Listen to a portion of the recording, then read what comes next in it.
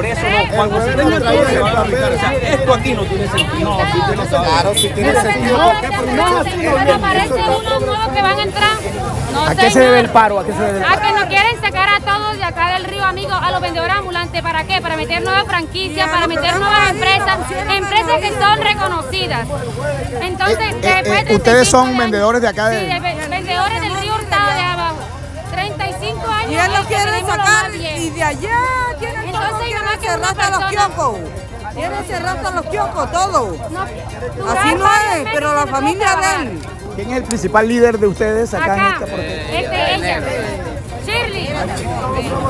Shirley. Hágame un favor, cuéntenos eh, de qué se trata el, el- el paro, el bloqueo. Nosotros, nosotros estamos haciendo un plantón aquí para hacer de la problemática de los, de los comerciantes del ecoparque lineal una problemática de ciudad. Esta con el fin de llamar la atención de nuestro señor alcalde, ya que venimos haciendo compromisos desde el mes de septiembre a este mes con diferentes delegados de la administración y no se han podido concluir nada. Queremos que sea nuestro señor alcalde que es quien tiene potestad de hacer unos compromisos que queden pactados en esta administración y que no nos bailen el indio en la próxima administración ¿Qué piden ustedes? ¿Que se, haga presente? Que haga alcalde? presencia nuestro señor alcalde aquí en el sector.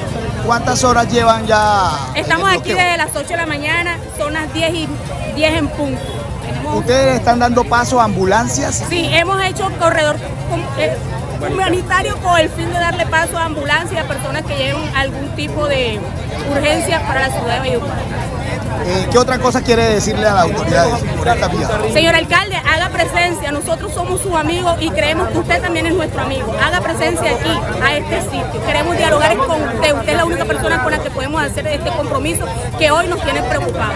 ¿Quién llegó de la alcaldía? ¿Qué persona ha llegado de la Eh, aquí se encuentra el secretario de gobierno, el doctor Felipe Murge y diferentes funcionarios de espacio público, pero la comunidad de afectada no quieren dialogar con él. Queremos la presencia de usted, señor alcalde. Pero el secretario de gobierno tiene autoridad también para hacer un acuerdo con Sí, ustedes. pero es que ya haciendo reuniones y él ha delegado funciones, pero ninguno, todos dicen lo mismo. Y la comunidad se cansó de compromisos sin respuesta. Queremos compromisos que sean de nuestro señor alcalde. Muchas gracias.